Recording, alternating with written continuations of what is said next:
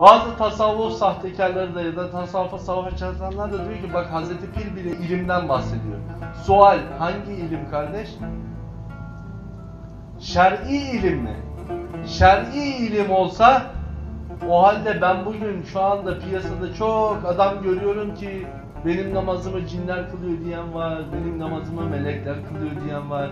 Şeriattan da haberleri var. Öyleyse bu ilim hakikat ilmidir. Hazreti Pir duvarın arkasını görmüş. Şeytanı bizzat görmüş. Şeytana diyor ki seni hakiki olan ilimle tarttım. Seni hakikat ilmiyle gördüm ki sensin. Ve o pire bağlanmak, onun yolunda olmak bir şehadetin gereği olarak bizlere mecbur oluyor.